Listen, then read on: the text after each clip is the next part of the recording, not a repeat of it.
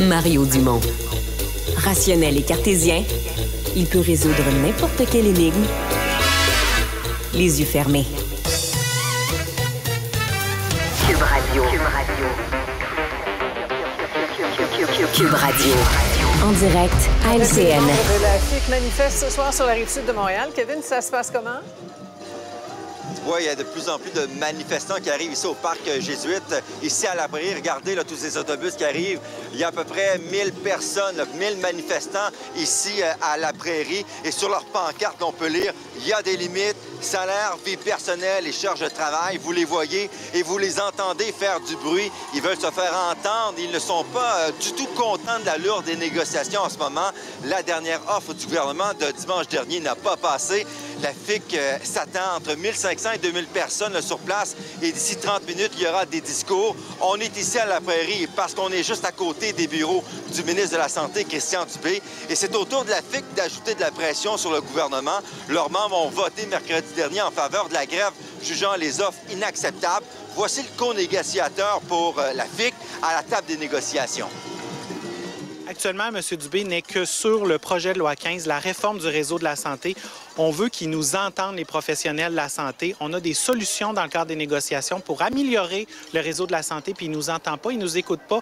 On veut qu'ils discutent avec Mme Lebel pour que les choses changent à la table de négociation. Comment vous avez réagi à l'offre bonifiée de dimanche dernier? Bien, bonifiée, c'est un grand mot parce qu'on a ajouté 1,3% donc c'est un peu rire des professionnels en soins. Dans les offres que le gouvernement nous a déposées hier, le gouvernement pourrait même imposer jusqu'à 16 heures de travail aux professionnels en soins. Donc, pour nous, c'est vraiment inacceptable. Dans les prochaines minutes, il y aura des discours. Ensuite, les manifestants se dirigeront devant les bureaux de Christian Dubé et le boulevard Tachereau là, sera fermé à partir du boulevard Mat euh, à Brossard jusqu'à la rue de la Levée ici à la Prairie. On retrouve plus tard. Merci, Kevin.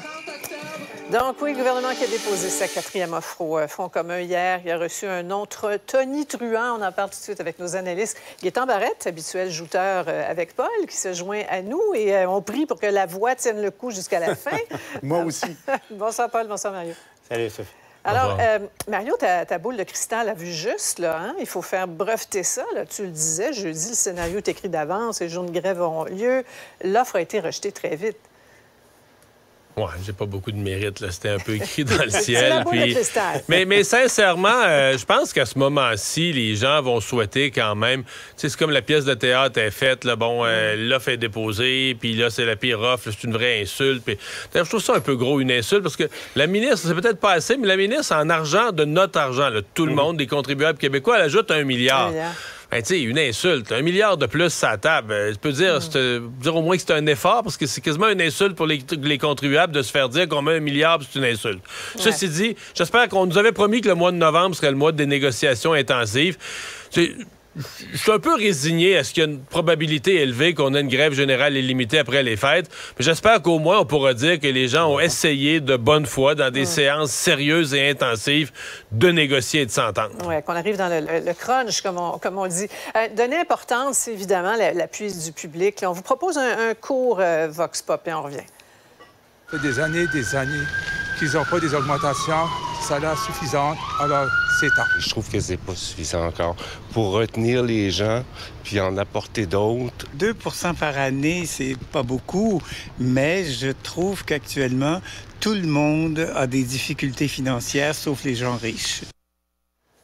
Bon, Paul. Bien résumé. Hein? Ouais, de quel côté, et, pour l'instant, l'opinion publique peut dire qu'elle est assez du bord de nos anges gardiens et de tous ces gens-là qui, mais quand on pense aux infirmières, par exemple, il y a un capital de sympathie naturel et, euh, presque permanent. Mais, mais attention, parce que euh, elles jouent gros aussi, euh, les, infirmières, dans la négociation et dans la perception des gens. Tout le monde comprend qu'à l'heure actuelle, les employés du secteur public et parapublic ont un, certain rattrapage à faire. Mais on arrive au cœur, et tu disais, Sophie, on arrive au, cœur des, vraies questions, au fond. Chaque pourcent de plus, Mario le disait, c'est un milliard. Alors, à combien de milliards de plus on va s'ajouter? Et ça ça va représenter quoi sur le compte de, euh, sur le rapport d'impôt des, des, gens qui, qui, nous écoutent? Alors, tout est une question d'équilibre. Mais en même temps, c'est clair, au moment où, le taux annuel d'inflation est pas loin de 4% en ce moment, quand on dit offrir 14% en 5 ans, au niveau des perceptions, ça pose problème. Est-ce que le gouvernement a encore une carte dans sa manche? On peut le mm. penser dans, dans, le film traditionnel dont Mario parlait. C'est un peu comme ça que ça, ça, arrive, la pression monte, la pression monte, et au dernier moment, une, une, une autre proposition euh, est à suivre. Mm-hmm. Et, et, le calcul de l'inflation est vraiment pas évalué de la même manière d'un côté comme de l'autre. Euh, on, comprend que les deux parties sont vraiment des kilomètres de distance. On va, on va revoir ce qui est sur la table. On parle de 10,3 euh, sur 5 ans pour les 600 000 employés de l'État. S'ajouterait euh, des bonifications de 3% pour certaines catégories de travailleurs, montant forfaitaire de, de 1 000 la première année. Bon, euh, il y, a aussi cette donnée nouvelle, hein, les offres différenciées, Ça, ça complique les négociations, ça, non? Oui, absolument, parce que le syndicat est contre ça. Parce que euh, parce que ce fameux 3 %-là auquel on vient de faire référence, c'est particulièrement visé, ça vise particulièrement la rémunération différenciée. C'est quoi la rémunération différenciée? C'est une infirmière qui travaille de nuit la fin de semaine, le samedi soir, les postes sont difficiles à combler, ça pose des gros problèmes dans le réseau, ça fait du temps supplémentaire obligatoire. On veut les attirer moyennant des rémunérations augmentées. Les syndicats, eux autres, ils veulent la même chose pour tout le mhm. monde. Alors, en voulant avoir la même chose pour tout le monde, on ne peut pas avoir les deux. La résultante de ça, une rémunération différenciée, ça veut dire qu'il y a des infirmières qui, par leur mauvais horaire, qu'on comprend, pourraient gagner plus que l'inflation et d'autres se resteraient au niveau de l'inflation. Et ça, dans le catéchisme, dans l'évangile syndical, c'est un péché mortel. Alors, le vrai enjeu de cette négociation-là, c'est un changement de relation de travail qui est dans l'intérêt du système. Et ça, c'est tout un changement. Et là-dessus, je dois dire que le gouvernement a raison. Dernière chose, Sophie, moi, je l'ai dit depuis le début, L'offre de départ, ça reste jamais là. C'est jamais l'offre finale. Ils ont commencé à 9% c'était pas assez. Ils sont à 10,3% Ils vont aller ailleurs. Mm. Mais le vrai, vrai, vrai enjeu, c'est la rémunération différenciée. Et là, on est dans les dogmes, l'idéologie. Mm. Mais, dans, la même veine, Sophie, un des problèmes du gouvernement, parlant d'offres différenciées, la différence, en ce qui est, différence qui était offerte aux policiers de la Sûreté du Québec, 21 et ce qui est offert euh, aux, autres employés du secteur public, ça, c'est un problème pour le gouvernement. Il y a, mm-hmm. eu un problème euh, de, perception, évidemment, qu'il a lui-même créé, sans parler, évidemment, mm-hmm. de la hausse de 30 du salaire des, élus. Là. Et il se le fait, il se le fait rappeler. Euh, le gouvernement qui a de grandes ambitions, hein, qu'on pense à tous ces projets, le barrage éolien, maison des aînés, logement, et il se fait souvent répondre où sont les bras. Il manque quoi, 6 500 travailleurs. Là, M. Legault lance une grande offensive de recrutement, de formation en construction. On écoute le premier ministre. Puis après, bien, on parle de jobs qui sont très payantes, là, qui peuvent aller jusqu'à 40, 45 dollars de l'heure. Donc, c'est des jobs valorisants, payants. Une initiative qui est la bienvenue, Mario? Oui, oui. Oui, oui. Et euh, ce matin, euh, je faisais une entrevue avec le vice-président de l'Association de la construction du Québec. Mm Je vous, il me disait, à mon étonnement, que même dans le résidentiel, parce qu'évidemment, on pense au gouvernement, tout ce qu'il y a d'institutionnel, des écoles à rénover, des hôpitaux à rénover, des routes, des viaducs, mais même dans le résidentiel, qui présentement vit une année catastrophique, les mises en chantier à Montréal sont à des niveaux bas historiques, c'est une année terrible on manque de main-d'œuvre, même dans le résidentiel, et on est tous ensemble à chanter en chœur il faut construire plus l'année prochaine. On a une crise de main on a une crise de, logement, il faut plus de logements. Mais plus de logements, ça va prendre plus de main-d'œuvre pour les bâtir. Là. Oui. Euh, dernier mot, Paul. Oui, et puis c'est clair. Et là, c'est la première étape d'un plan que semble avoir le gouvernement. Le, mm. premier ministre a parlé du, euh, du mot décloisonnement euh, des, des, conventions collectives, enfin la loi R20 qui régit la construction. Ça, ça veut dire faire lever les entraves qui font en sorte qu'un charpentier menuisier ne peut pas faire un petit travail connexe et tout ça. Il y a à peu près qu'au Québec où ça fonctionne comme ça. Ça mm. aussi, ça ajoute en, lourdeur et en coût dans l'industrie de la construction. Mais attention, attention à la réaction des grands syndicats de la mm-hmm. construction lorsque ce jour-là arrivera. Il paraît-il que ça, ça, va arriver plus tôt que tard. Ça va faire des flamèches. Mm. Alors, voyez, Gaétan, qu'on préserve votre voix, mais ce n'est pas terminé. Dur dimanche soir pour lui. Là. Israël qui rejette catégoriquement les appels à un cessez-le-feu lancés par la communauté internationale. On y revient avec nos analystes tout de suite après la pause. Restez avec nous. Cube Radio. Autrement dit. Alors, une dame qui euh, s'était payée un séjour dans un hôtel chic, ça n'a pas bien tourné?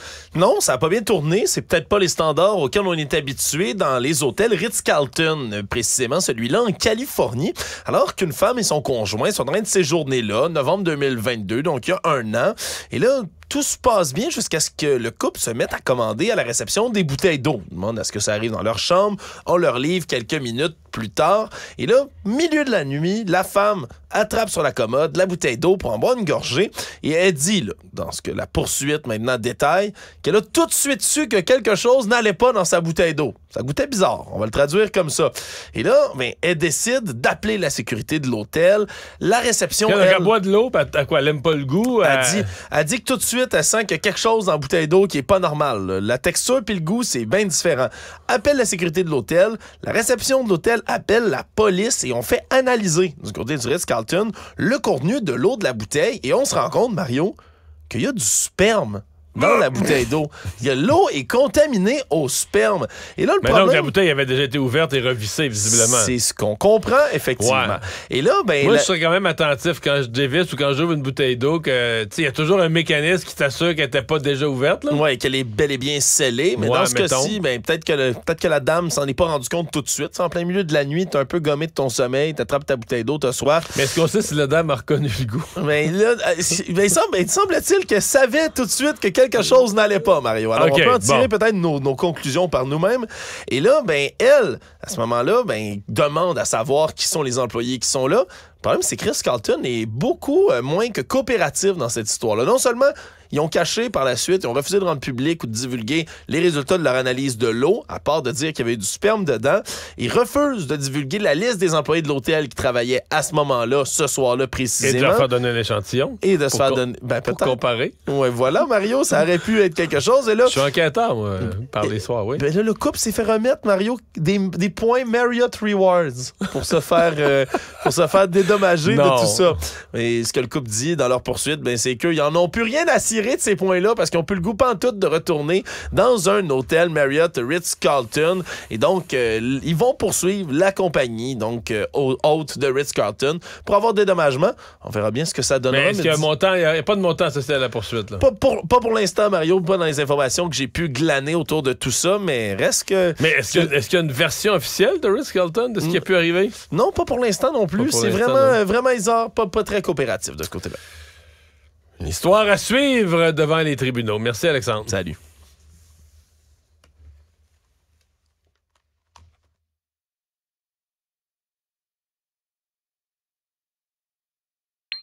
Cube Radio. Une autre vision de l'actualité. Cube Radio.